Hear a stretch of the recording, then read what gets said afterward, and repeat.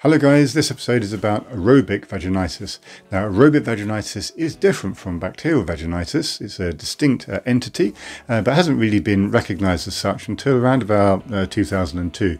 Um, and so what is aerobic vaginitis? Well, it's very, very common, um, and in some respects it does share similarities with bacterial vaginosis even.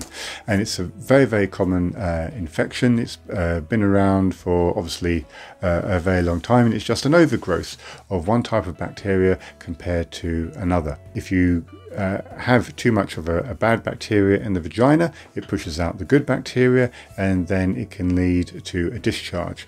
But the difference there stops because in aerobic vaginitis, uh, the bacteria pushing out the good bacteria don't live in the vagina naturally. They are more commonly found, for example, in the bowel. That's why you don't want to do, for example, you don't want a courtesy flush.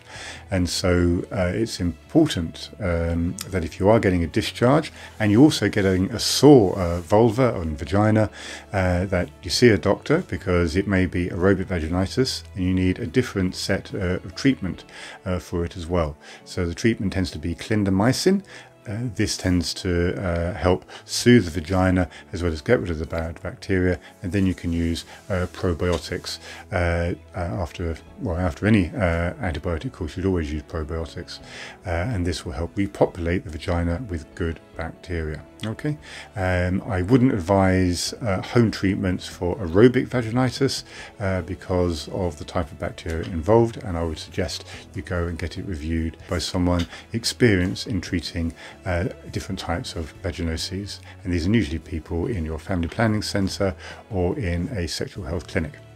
So uh, if you want to know more about uh, vaginosis, then I suggest you watch this video about bacterial vaginosis. Take care and uh, have good sexual health. Bye bye.